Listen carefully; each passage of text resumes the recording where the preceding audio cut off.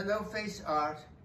I'm so happy to be with you and to celebrate your 10th anniversary and to join you in the beautiful work that you've been doing. Thank you so much. This is Jerry Lowenthal. Bye.